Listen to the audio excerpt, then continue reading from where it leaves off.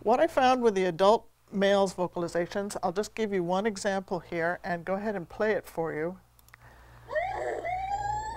Okay, so this is a spectrogram, right? Time here, and that's basically your perception of pitch. And this is basically a, a, voice print. It's a pictorial representation of the call. And what you hear in the beginning, right in here, is familiar um, to anybody who's listened to killer whales, but it's got this little wavy sound to it.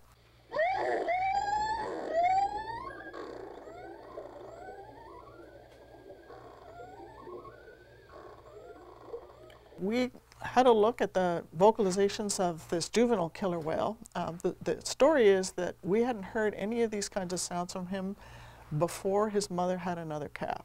So, and not immediately after, but slowly afterwards, he started spending more time with the adult male. And months later, we start hearing these calls. It surprised us, but that's the story here, is that all of a sudden he's starting to make these calls.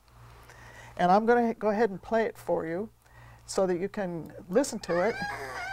You hear the same warbling, you hear the buzzes, you hear the repetitions. So he's internalized the features of this call, he's learned.